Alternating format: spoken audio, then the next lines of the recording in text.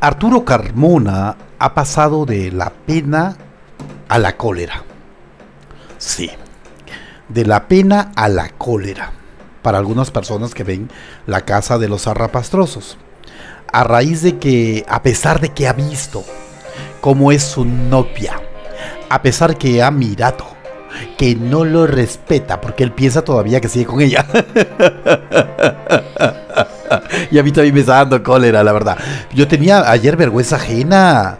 Tenía vergüenza ajena de ver lo que estaba viendo. Mis ojos no daban crédito a lo que veía, de lo que estaba mirando. No daba crédito de nada. Así que por ese lado, pues, ¿qué pasará en la casa de los zarrapastrosos? Aquí lo hablamos en el programa, por supuesto. Esperando que todos en casa estén súper bien, Rodolfo del Prado viene a su plataforma a raíz de que Pepe dice en la mala lenguas que ha sido censurado. A raíz de que ha comenzado a especular dentro de la casa que Carmona no se va a ir por más que el público decida que se vaya. Porque como Dania Méndez ya va a regresar, quieren tener contenido con ella para cuando Carmona le reclame a la otra que por qué se metió con Zapatón. Claro, es que una la tenía grande y la otra tenía chiquita. Quiero invitar a todas aquellas personas que ingresan por primera vez a esta plataforma a suscribirse al canal accionando la campanita. Arturo Carmona me imagino que debe estar pues tratando de luchar con su yo interior, tratando de luchar con el amor que siente por aquella mujer que lo ha desprestigiado, que le ha arruinado la carrera, que lo ha hecho ver como un hombre débil, como un hombre saco largo que no tiene dignidad y tampoco tiene amor propio. Y me imagino que él en el fondo tiene las ilusiones de volver con ella. De acuerdo a lo que nosotros hemos ido viendo, él ha superado bien rápido toda la decepción que ella le ha ocasionado. Él no sabe quererse, no sabe amarse, pobrecita. Hay que comprarle un sol de, de dignidad o un dólar de dignidad para que de esa manera él pueda tener aquella fuerza que muchos hombres tenemos, ¿no? Como siempre le he dicho al público dentro de la transmisión, yo creo que él, está, él ha estado acostumbrado a que sea él quien deja a las mujeres y no que las mujeres lo terminen dejando a él. Y como el karma existe, él está pagando lo que ha hecho y la otra que se fue a Brasil también está pagando lo que le hizo a Carmona cuando se fue el zapatón a la calle. Gracias a quién? A ella. Y en esa relación del zapatón y ella yo creo, creo, que había promesa. Pero se arruinó todo, así que por ese lado el karma existe. Así empezamos el programa del día de hoy. También quiero decirle al público que su comentario lo dejen dentro de la caja de comentarios, que me apoyen con un like y que ya saben que si quieren hacer algún tipo de donativo, lo pueden hacer por medio de mi PayPal que está dentro de los mensajes que ustedes dejan dentro de esta transmisión. Vamos a hablar de Carbona porque creo que tenemos que dedicarle tiempo, pobrecito. Ya que Dania Méndez no le dedica tiempo, nosotros le vamos a dedicar tiempo para ver cuando él tenga la oportunidad o que el público decida de que salga de la casa, vamos a ver si tiene amor propio y le da un poco de vergüenza y no aparece por las cámaras a raíz de todo lo que nosotros hemos dicho, todos los influencers, hemos dicho con respecto al tema de él. El día de ayer en el panel los que estaban dentro del set comenzaron a opinar con respecto al tema del sufrimiento de Arturo Calbona. Para alguno de ellos, como por ejemplo Samirra, para ella las cosas estaban clarísimas. Daniel le había dejado las cosas claras antes de irse a Brasil.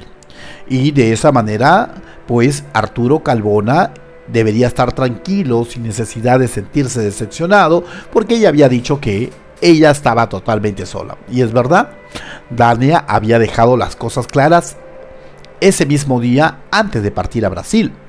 Pero también tenemos que recordar esta parte que es importante para entender a Calbona, que ella estaba como aquella floja que estira y afloja estira y afloja. Le decía, yo no quiero nada contigo, pero después se acercaba a él, le agarraba la mano, le agarraba la mentira, el, mentón, le hacía cariño en la cabecita. Y él estaba como aquellos perros que tú los gritas, lárgate basura, lárgate acá afuera. Y lo botas y después y viene corriendo y mueve la cola igualito.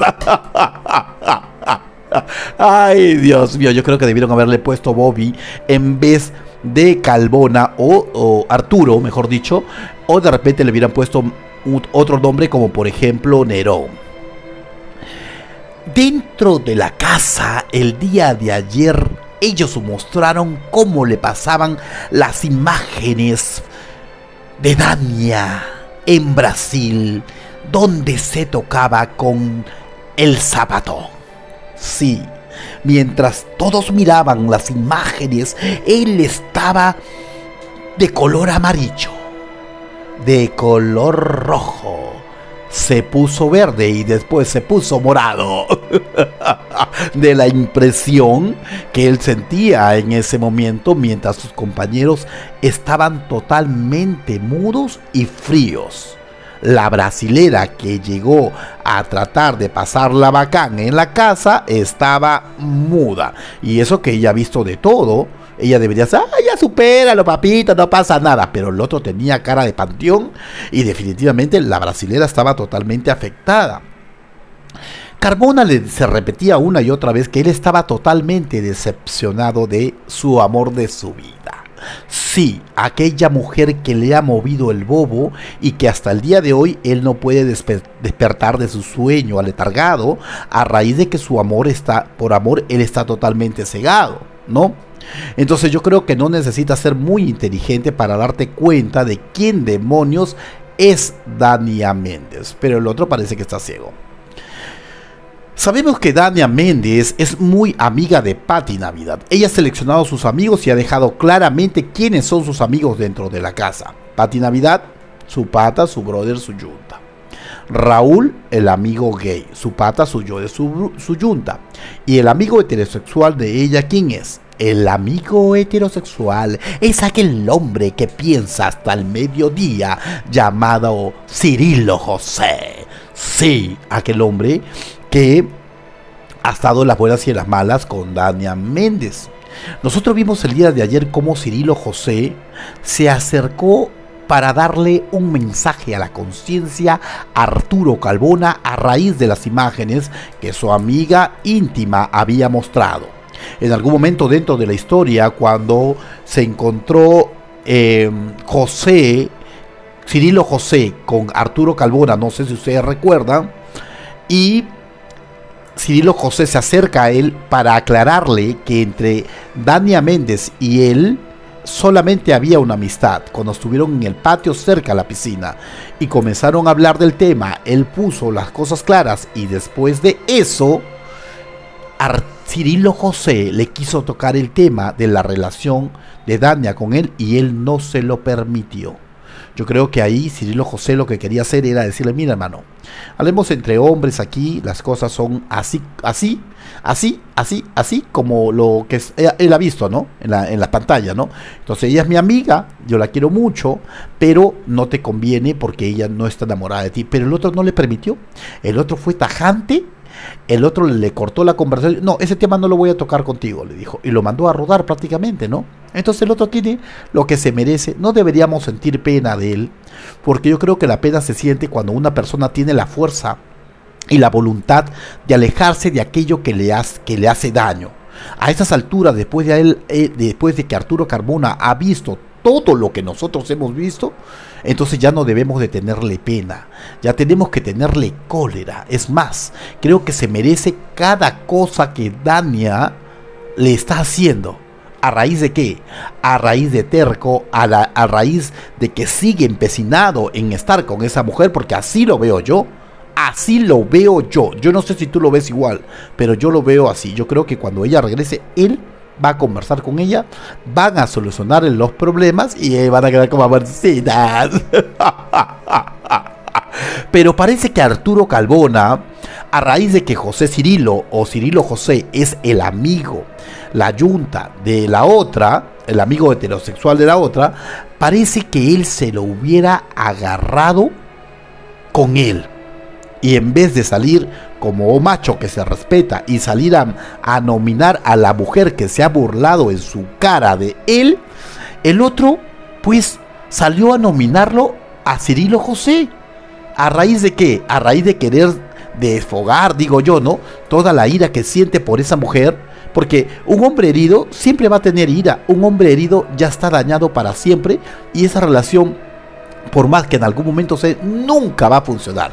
¿Ustedes creen que ahorita si ella volviera a arreglar, arreglar las cosas, salieran a la calle, esa relación funcionaría? Él no tendría confianza. Siendo como es de celoso, eso ya está destruido para siempre. Él no, no tendría confianza con ella a raíz de lo que ha visto y de esa manera lo, la va le va a hacer la vida imposible porque ya se ve que es una relación prácticamente enfermiza y ella lo va a terminar dejando si es que se arreglan, digo yo, y si afuera quieren pretender continuar con una relación, porque eso ya no va a funcionar nunca más. Así de fácil. Lo que debió haber hecho Arturo Carbona, si realmente se amara, si realmente se quisiera, es yo le doy dos puntos a Dania. ¿Y por qué? No porque esté no porque esté ardido por lo que estoy viendo, sino porque creo que ha jugado con mis sentimientos, ha jugado con mi hombría y se ha burlado de mí, porque si bien es cierto, ella me dijo que no quería estar conmigo y que quería estar sola, por un rato me, acariciaba y por el otro lado me estaba diciendo que no, me acariciaba, me decía que no, me acariciaba, me decía que no, y yo estoy totalmente confundido porque en el fondo guardo una esperanza. Es normal, es normal que una persona como él, por ejemplo, como cualquiera de ustedes, si tienen al lado a un hombre que hiciera eso, definitivamente ustedes estuvieran confundidas. No sé qué hacer, si me quiere o no, me dice que sí, me dice que no, no lo sé. Y es lo mismo que está pasando con el otro. Pero la diferencia es la edad. Porque a una edad como él, de casi 50 años, pues tiene 45, ya es para que se dé cuenta. Eso puede funcionar hasta una persona de 25, 26, ya hasta por último 30, pero de 45 son 15 años más de diferencia. Pero el otro se la agarró con Cirilo José. ¿Y por qué? ¿Cómo votó Arturo Calbona? Él se fue al confesionario, perdón, ¿sí? ¿Confesionario? Al confesionario y le dio dos puntos a José y un punto le dio a Osmel. Así de fácil. ¿Qué opina?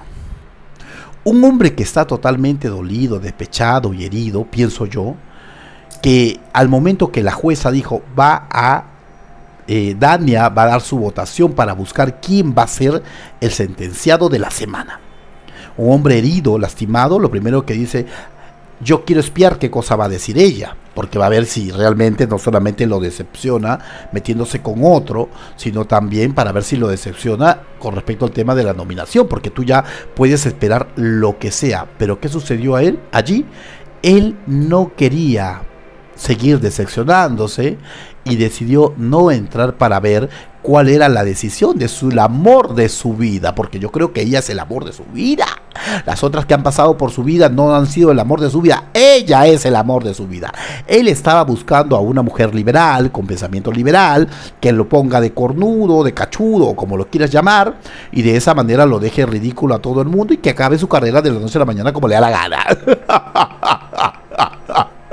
o sea, el, el dañino es el mismo, ¿no? Él no quiso entrar.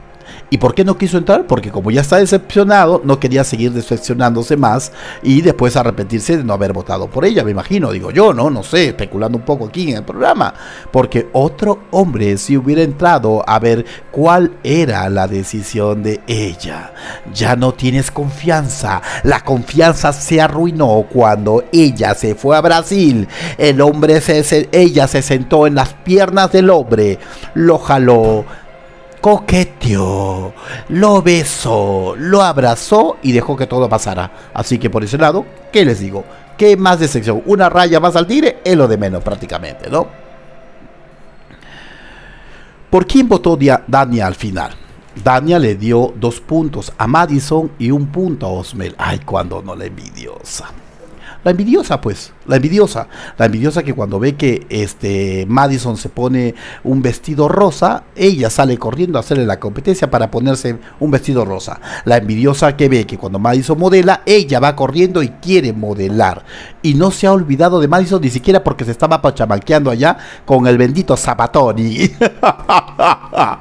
Desde allá se recordó de Madison y la volvió a nominar una vez más, pobre Madison. ¿no? Ella quería entrar a mirar quién votaba por ella. Si esta, porque como yo había entrado por la materialista, quería ver si, si esta votaba por, él, por ella. Y, no, bueno, no se equivocó el sentido, el buen sentido, ¿no? ¿Por qué la tienen que envidiar a la pobre chica? Si es bonita, regia, alta, el corazón tiene envidia. La otra es mea retaca, a comparación de la de Madison. Entonces una envidiosa. Y todo lo que tiene es de plástico, peor todavía. Acá hay algo raro, ¿no? Hay un dicho que dice la curiosidad, la curiosidad mató al gato. Pero parece que en el gato, en el, en, el tema de Carmona, ese dicho no funciona. Así que por ese motivo el gato aún sigue vivo. Y el gato va a regresar a la casa. Arturo Calvona solamente se ha sentado allí para tratar de darle lástima a todo el mundo. Y ahora están diciendo que cuando ella vuelva va a conversar con ella para perdonarla y de esa manera regresen y sean felices los dos. Y él está feliz. Como un delfín, porque esta semana se salvó. Uh. Mientras que yo estoy pidiendo acá que la gente vote, que no vote por Calmona con Calvona para que se vaya a su casa y no siga sufriendo, parece que Telemundo quiere que se quede para de esa manera tenga contenido a raíz de que la otra ya viene. Ay, ¿qué pasará? ¡Qué barbaridad! ¿Por qué son así, público? ¿Por qué son así? Digo yo.